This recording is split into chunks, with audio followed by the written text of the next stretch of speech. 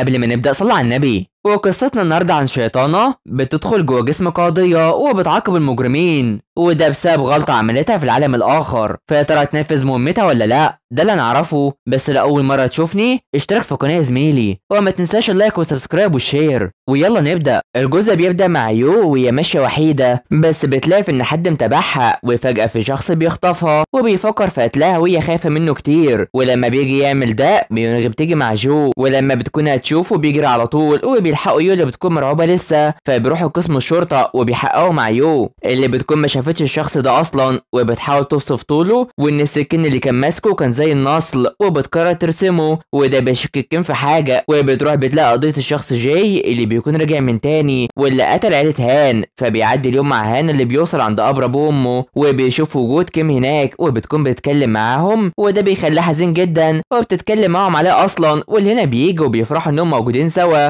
وبتقرر تهتم بيه فبيروحوا يتجمعوا عشان يحققوا في قضية جانغ والقضايا التانية اللي بتكون بنفس الطريقة وبيتكلموا على إن محدش طايق خالص بسبب اللي بتعمله في القضايا بتاعتها فبتكون مع جين رئيسها وبيعرفها باللي هتعمله وإنها تكون كويسة عشان الكل بيتكلم عليها ومش طايق الأحكام اللي هي بتعملها ومش عايزاها تاخد أي قضية تانية وبيلاحظ في إنها هادية وده على غير عادتها وبيقلق منها جدا فبتمشي تروح لجو وبيروح يقرأ لها التعليقات اللي حصل وبيعرفها بالشائعات عن إن ليه هي ستان علشان بطلع حاجة من عينها وشاكك فيها بشكل كبير وبيرضى تروح مع كل سكان المبنى في أجازة آخر الأسبوع. بس بترفض كالعادة. فبنيجي للمتنمرين دول اللي بيروحوا يتلموا على البنت دي واللي اسمها دهي وعايزين منها المال وبتصرخ أصلا. بس كان فجأة بتيجي وبتدافع عنها. وبتكون مفكرة في إن هي اللي عملت ده علشانها. بس بتجادلوا مع كانغ وعاوزاهم يشيلوا الكمامة دي أصلا. وبتضربهم وبتخليهم يعملوا ده بالعافية. فبنروح تعوزاها كيم لفريق العمل بتاعها. وفجأة بيجي لها فون وبتلاقي كانغ موجودة هناك. واللي بنعرف إن دي بنت كيم أصلا. وكان هي اللي أنقذتها من التنمر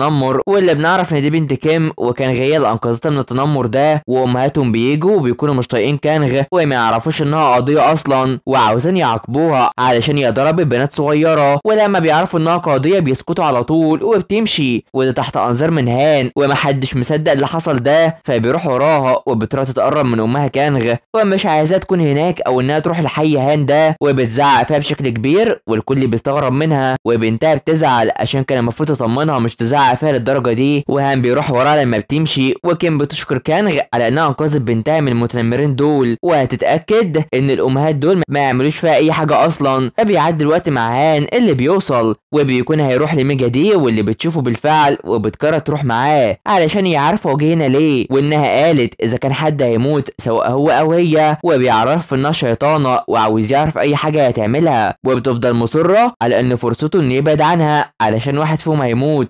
وبتصدمه إنها كانت عارفة امه وابوه اللي كانوا طيبين وبيحبوها على طول وإنها عرفتهم من زمان علشان كانوا عايزين إنهم يحموه وبلاش يتقابل مع كانغ من تاني علشان هي كده عملت بوعدها اللي خدته من زمان وسواء هو يعيش أو هيموت فده اختياره سواء فضل هنا أو لأ وبتخليه يمشي على طول وبتكون محتاره أصلا وبتروح تركز في نفسها ومن الواضح إن الست دي شيطان أو حتى ملاك فبيطلع بيتقابل مع كانغ اللي عايزاه يشكره على الأقل بسبب اللي عملته وبيفكروا في إنهم يمشوا سوا بس هي بترفض بما ان بيتهمها بالقتل على طول فبتدخل وبتكون متضايقة منه وبتقول إنها بتكرهه بشكل كبير. فبيعدي الوقت مع تجمع سكان المبنى وميونغ شايفة في ان كانغ تعبانة وما جاتش معاهم. بس أنا بتقرر إنها تيجي أصلا وإنها اتحسنت خلاص وبيروحوا سوا واستغراب هان منها واللي بيكون معاها. وبترفض إن يساعدها وشايف إن كل البشر مزيفين زيه كده وبتمشي وحدها. فبيعدي الوقت وبيطلعوا يتصوروا مع الجبل. وهان بيروح ليها وبتسأله إن لو بيشك فيها كتير قوي كده عشان ده بيضايقها. ومش عارف أي نوع من الشيطان اللي هي فيه ده علشان في مرة تكون طيبة ومرة تانية شريرة. وبيشكرها على اللي عملته امبارح وإن ده هي مش أخته على طول بس هي متبناة من عيلتهم وإن تلات أشخاص اللي قال عليهم ماتوا بسببه كان ابوه وامه وأخوه. وشايفة في إنه كده ما قتلهمش عشان لو قتلهم كان هيكون في الجحيم حاليا. وإن ده مش غلطته علشان ما قتلش أي حد أصلا. وبتاثر فيه بشكل كبير وبيكون بيفكر في انه يبدا يصدقها وهيؤمن بيها وده اللي بترفضه. علشان كده عبادة اصنامه بتمشي فبيروح يشربوا سوا بالليل وبيتبسطوا كتير. كتير وهان برضه بيشرب معاهم وكان بتكون بتحاول ما تشربش كتير أصلا. ولما بتتكلم على الموت بيقول إنها جميلة فلازم تقول كلام جميل زيها. وهي بتشكر ميونغ وجو على أنقاذها في الوقت المناسب. وميونغ بتفضل تتكلم معاها على طول عشان عايزاها تروح الكنيسة معاها. ومن هنا هان بيتكلم على إنه أعجب بيها بشكل كبير وبيكون سكران. وبيتكلم ولما بيكون بيقول عليها كلام كويس بيخلي كانغ قلبها يدق وبتحاول توقفه مش بتعرف خالص. وبيجي يمشي بيسكر وبتقرر إنها تدخله بيته. بس بيكون رافض يعرفها وبيديها تلميح ليه وبتفتح الباب وبتدخله بالفعل فبتيجي ماشية بيمسكها وده اللي هي مش بتعرفه علشان الشيطانة. وعاوزها لو تتصرف بشكل وحش فتكون كده على طول وشايف إنها صالحة علشان عمل حاجات كتيرة كويسة وبيتمنى في إنها ما تكونش قاتلة علشان يقبض عليها هو مش عايز يعمل ده وبيأثر فيها وبيغمى عليها وهي بتمشي على طول. بس بتروح تشوف حاجته بتلاقي إنه محتفظ بالكنز بتاعتها وبتفكر في إنه بيدور وراها وبتفتكر كل اللي حصل بينهم وبتكون مستغربة منه كتير وشايفة في إنها مش لازم تثق في البشر ابدا. فبتروح تتقابل مع جو وبتقرر تحقق معاه اللي حصل وبتكون بتعاقبه عشان بيكذب عليها إنه اعتدى دور الكنز دي. بس بيكون رماها وما جاتش. واللي بتروح تهدده بالمطرقة اللي معاها دي طالما شيطان اتأسف وبيروح يتأسف لها وبيقول الكلام اللي اتعلمه كمان. وعايزة تمنع أي حد شافها في الوقت ده. واللي بتكون بتشغل ليه وجو وبتفكر في إنها عارف حاجات عنها. وبتعرف جو في إنها تسامحه المرة دي بس مش أكتر وبتمشي وهي متضايقة جدا. فاللي بتتكلم مع جو عن معاملتها تجاه هان وعايزه تعرف لو هي بكت ولا لأ ويعرفها. علشان الشياطين اللي بيحصل بينهم مشاعر للبشر لازم يموتوا. ومن الواضح إن ليدي خبيثة فعلا فبيعدي الوقت ما تعوزيه الجوائز دي واللي بيكون لتشو رئيس التغذية وبيخلص وبيمشي. بس فجأة بيقف وبيلاقي إن في كلب مصاب أصلا وبيروح يهتم بيه. واللي بيشوفوا ده الناس وبيصوروا إنه كويس مع الحيوانات. وشايفين في إنه كويس طبعا وبياخدوا ظنا إنهم هيعالجوه. فبنروح الاحتجاج على الشركة دي بس أبوه بيكون فرحان بيه. علشان هو متصدر الإعلان بحاجة كويسة وبيخليه كويس على طول. ومن هنا بيجي للشخص ده اللي اسمه ون وبيعرفه إن الرئيس قرر يقابله لوحده وبيتصدم. وبيخليه يروح على طول. فبيوصل البيت وبيكون بيتعامل بشكل كويس ومش مصدق في إن ده ممكن يحصل أصلا. وبيروح لتشو بالفعل اللي بيكون خايف منه جدا. وبيعرفه عن الكلب اللي حبسه واللي مش بيسمع الكلام وبيخلي الراجل اللي اسمه ون ده خايف أصلا. فبيروح معاه وبيكون بعت له المال وبيعرفه إن في خمس أشخاص اتوفى معاهم بسبب العمل الصعب اللي في الشركة.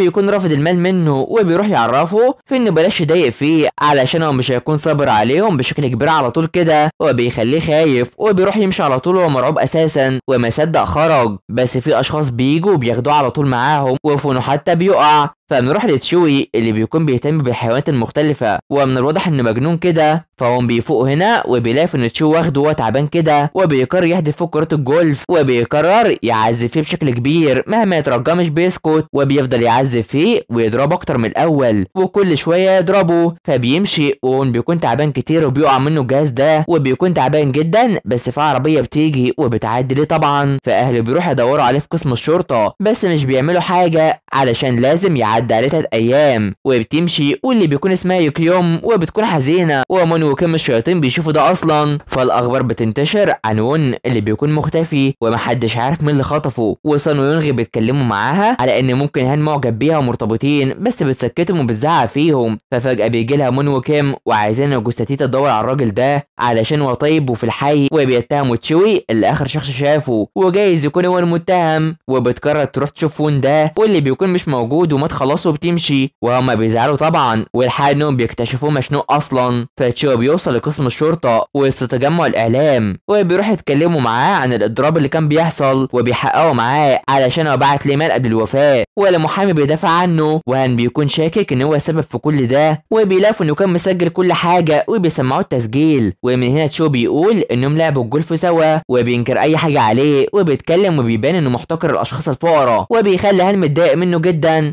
فبيخلص وبيمشي وهم مش طايقينه. وفجأة رئيس الشرطة بيجيبهم وبيكون عاوزهم يعدوا قضية تشوي. بس كيم بترفض وبتقرر تحقق في القضية. فهان بيتكلم معاها وبيعرفها في ان لولا الحظ كان زمانه قتله. وده اللي بترفضه علشان هم شغلتهم المعاقبة بالقانون. وبتخليه يوعدها على ده علشان مش هينسى إنه محقق. فبيروح يترجوا جونغ عشان يعدي القضية. واللي بيكون هيساعده مقابل الاراضي اللي هياخدها منه. فجين بيروح يتكلم مع كانغ اللي بتحاول توقعه في الكلام. وبتروح تحقق في قضية تشوي أساسا. وبتلاقي بتلاقي إن الكل متعاون معاهم وبتقرر تسال تشوي واللي بتعرف من كلامه إنه مش همه أي حاجة. وسط متابع من هان واللي بيقرر يروح يقابلها بعد المحادثة وبيتكلم مع عيله الضحية. وعاوزة تعرف السبب بما إنهم معرفوش بما إنها شيطانة وبترجاه عشان تساعده. وبالفعل بتقرر تروح تشوف الجثة علشان تشوف إذا كان انتحار ولا قتل. وبتشوف اللي حصل ليه بالظبط وبيكون قتلوه. وبتقول لهان إن ده انتحار. في حين إن كيم بتكون مع بارك علشان يحققوا في القاتل من غير ما هان يعرف. وبتكون في